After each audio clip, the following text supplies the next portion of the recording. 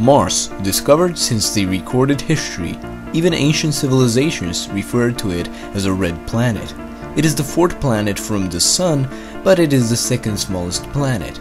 Still, Mars is quite a big place. Diameter of Mars is half that of Earth, but it still has a similar dry land surface area as Earth, simply because 70% of Earth is covered in oceans.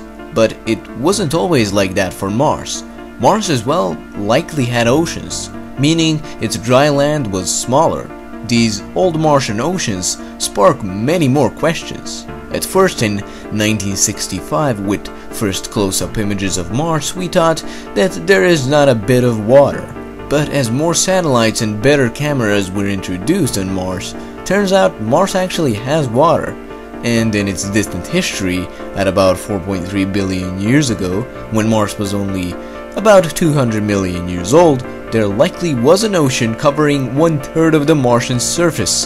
That was revealed because satellites not only captured actual water, but as well captured old shorelines of Mars, which were on the similar level throughout Mars. And that could have only been done if Mars had a big chunk of water, in this case a big ocean.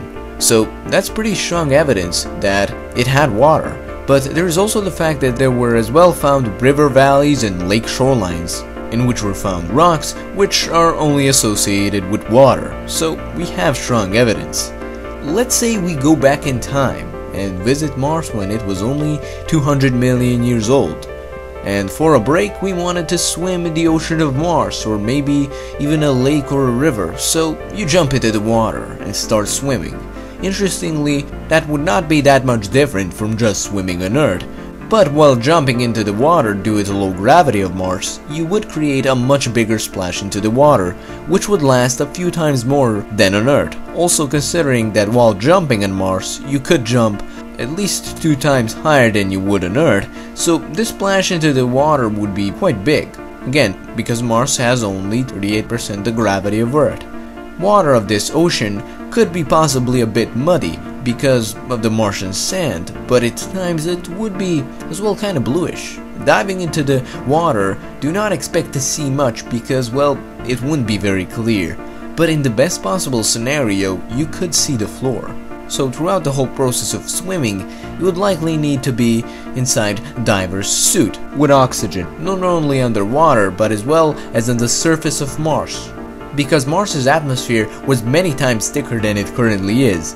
But same as it is now, it only consists of carbon dioxide, which could result in a death within few minutes. Still, at this time, even Earth had a similar deadly atmosphere.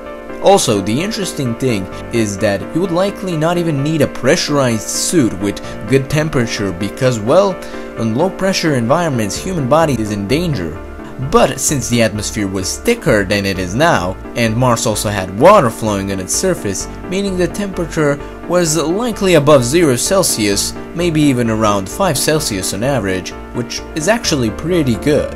And it also means that human body would just need oxygen to survive on Mars, so it would be quite pleasant to swim in the ocean of Mars.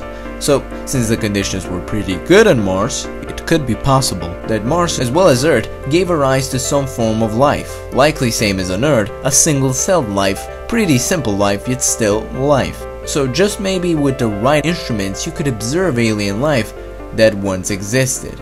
Of course you would need to know where the life is.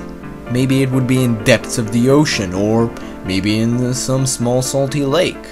So, all in all, going back in time to see early Mars, you would see some insane differences. From a very promising and alive land that it once was, it turned into a wasteland, completely dead. If its atmosphere wasn't stripped out, upon arrival at today's Mars, we could have possibly seen our alien neighbors.